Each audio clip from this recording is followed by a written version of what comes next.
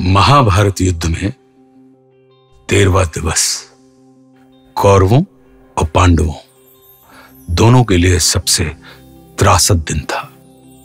तेरवा दिन एक ऐसा दिन था जब अनीति अपने चरम पर थी। मैं आज आपको उसी तेरहवे दिवस की दास्तान इस कविता के माध्यम से सुनाने जा रहा हूँ। जब कुरुक्षेत्र की समर भूमि में सरसैया पर भीष्म हुए, तब कुरुकलंक के नैनों में क्रोधाग्नि लगी और ग्रीष्म हुए।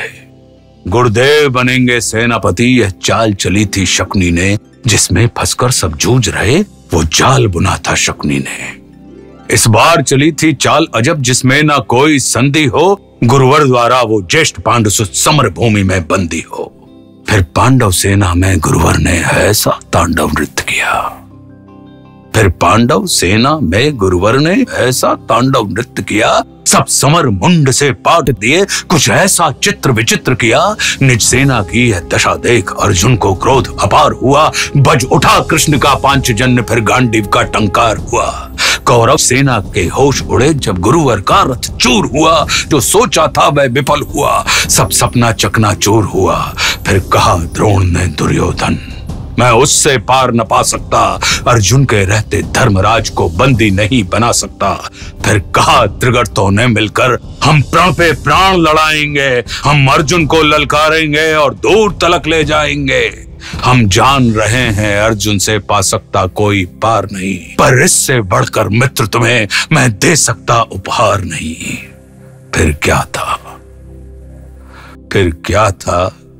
ऐसी नीति बनी जिसको सबने मंजूर किया। उसने अर्जुन को ललकारा और समर भूमि से दूर किया। अर्जुन के जाते गुरुवर ने फिर कुछ नवीन संरचना की जिसका भेदन हो सके नहीं। उस चक्रव्यूह की रचना की। पांडव सेना भयभीत हुई। यह देख शत्रुदल सुखी हुए। जो सदा शांत चित रहते थे, वे धर्मराज भी दुखी हुए। निज सैन्य तात को दुखी देख, फिर शेर बबर को जगना था। जो धनी धनुष के बनते थे, उनको भी नाक रगड़ना था। है उम्र अठारह बरस, मगर ये बड़ा धनुष का धनु है। है उम्र अठारह बरस, मगर ये बड़ा धनुष का धनु है। सबने देखा कोई और नहीं, ये अर्जुन सुत अभिमन्यु है। मैं इसका भेदन कर दूँगा, यह भेद गर्भ में सुना हुआ। दादाजी, चिंता दूर करो, ये सुन सौ गुना हुआ। फिर अभिमन्यु के पीछे ही कुछ तेज चले, कुछ दिन चले, कुछ पैदल घोड़े, रथ सवार ले, गदा गदाधर भीम चले। अभिमन्यु को ना रोक सका वो द्वार तीसरे पार हुए, पर राज द्वार पर जयद्रथा चारों भाई लाचार हुए। अभिमन्यु ने मुड़कर देखा। अभिमन्यु ने मुड़कर देखा, पीछे ना कोई अपना था। पर विचलित तनिक न हुआ वीर, ऐसा ही उसका सपना था। कोई एक बड़ा, कोई दो दो संग, कोई ले झुंडों का झुंड बड़ा, लाशों से पटने लगी तरह जब मुंड मुंड पे मुंड गिरा। दुर्योधन दुशासन विकर्ण कृतवर्मा अश्वत्थामा को गुरु द्रोण कर्ण को हरा दिया, फिर मारा शकुनी मामा को। वह कर्ण भिड़ा जो दुर्योधन के विजय लक्ष्य की आशा था, वो कर्ण भिड़ा जो दुर्योधन के अंतर्मन की भाषा था। वह कर्ण भिड़ा जो एक सात सौ बाण चलाने वाला था। वह कर्ण भिड़ा जो दुर्योधन को विजय दिलाने वाला था। सबने देखा वो अंगराज रथ सहित धरा पर पड़ा मिला। सबने देखा वो अंगराज रथ सहित धरा पर पड़ा मिला। कुछ चेत हुआ तो भाग गया, वो दूर सभी को खड़ा मिला। फिर दुर्योधन हो गया, कुपित ले सबका नाम पुकारा है। सब ऐसे साथ मिलकर मारो, ऐसा आदेश हमारा है।